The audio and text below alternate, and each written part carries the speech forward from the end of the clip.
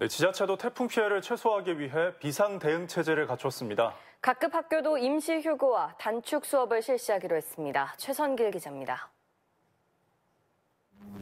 급경사지에서 방수포를 덮고 도로 옆에 차단벽을 쌓습니다. 태풍 솔릭으로 인해 도로로 흙이 흘러내리지 않도록 하기 위한 조치입니다. 광주시와 전남도는 재해 취약 지역을 점검하는 등 태풍 대비 체제를 갖췄습니다. 논과 밭, 하우스 등 농가 피해를 예방하기 위한 작업도 하루 종일 이어졌습니다.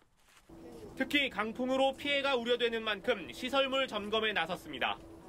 지금 태풍 대비 그 안내를 하고 점검을 하고 있습니다. 오늘 같은 경우에도 직접 군청이나 면사무소 직원들이 나오셔가지고 그 같이 점검을 하니까 광주와 전남 소방본부와 농어촌공사, 농협 등 유관기관도 태풍 상황을 주시하며 대비에 만전을 기하고 있습니다.